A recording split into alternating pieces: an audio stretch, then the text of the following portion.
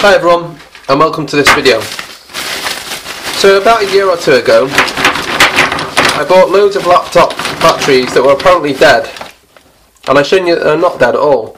So I stripped all these 18650 cells out and I started doing various different things.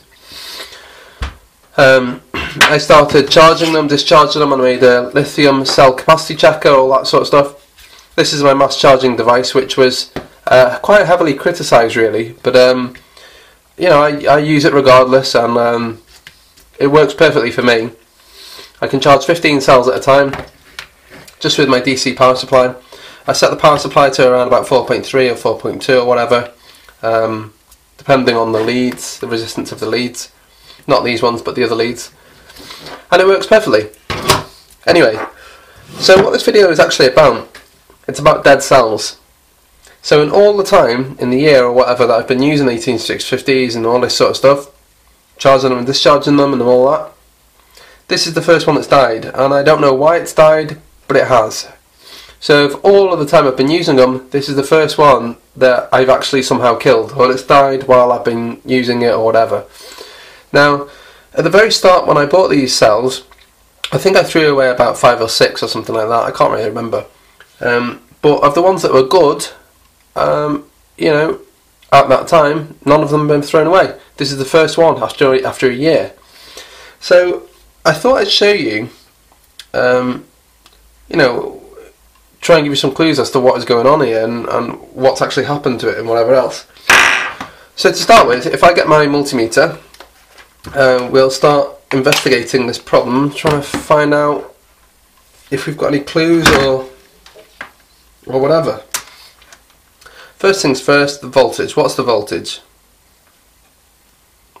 Voltage is 0.45 volts. What's the resistance?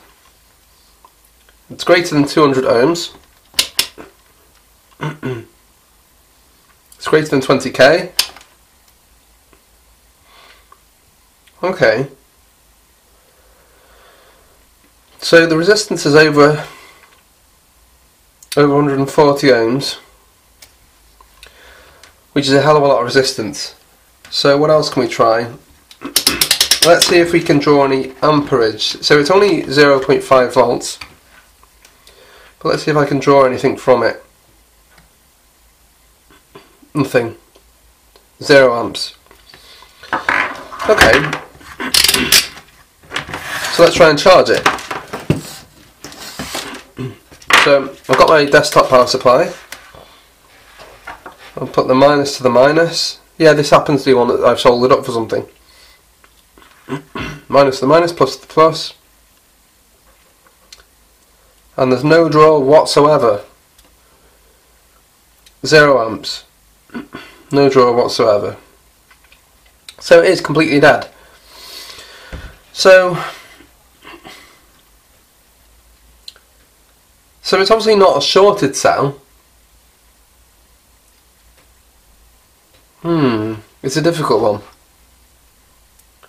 It's not shorted because if I was to feed uh, something through it, a lot of current would draw a lot of current would be drawing through these now. So it's it's an open circuit, it seems. But then if, it, if it's an open circuit, how can it be 0.4 volts? I don't really know. It's well, it's got a hell of a lot of resistance in it anyway. So if you have a quick look at it, it appears to have some sort of liquid or something inside it. Now, I don't know what that is. I assume it could be lithium or lithium grease or something. I don't know.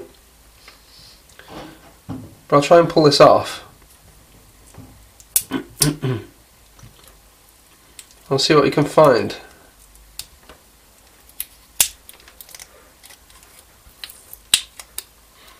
It appears to be dry, there's no smell. Um, well, certainly I can't smell anything. So let's see.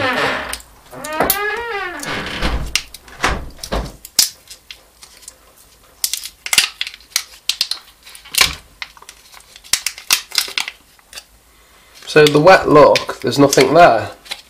It's not wet, so I don't know what that was. Some sort of... Well, I don't know. There's nothing on there though. Let's have a look here. There's nothing damp on here either. Now I did see somewhere where there was an imprint. Let's have a look on here. I think it was on this. There was an imprint and I think it said... Yeah, there it is. I don't know if you can see it, but it says Sanyo.